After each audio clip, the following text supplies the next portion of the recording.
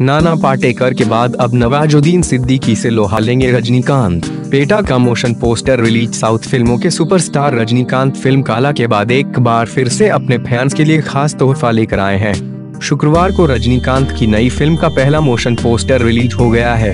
उनकी इस फ़िल्म का नाम पेटा है। बताया जा रहा है कि इस फ़िल्म की शूटिंग लंबे समय से चल रही है, लेकिन इसका नाम तय नहीं हुआ था।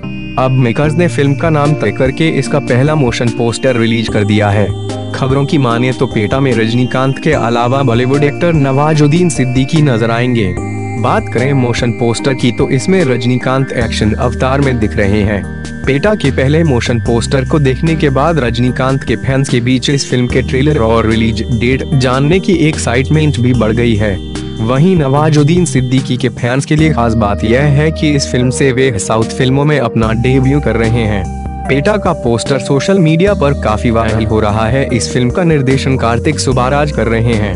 वहीं बात करें, बीते दिनों रिलीज़ हुई रजनीकांत की फ़िल्म काला की तो इस फ़िल्म ने जाति व्यवस्था और मौजूदा राजनीतिक माहौल को लेकर नए सिरे से विमर्श पैदा करने की कोशिश की थी। काला विलेन की भूमिका में बॉलीवुड के दिग्गज एक्टर नाना पाटेकर थे।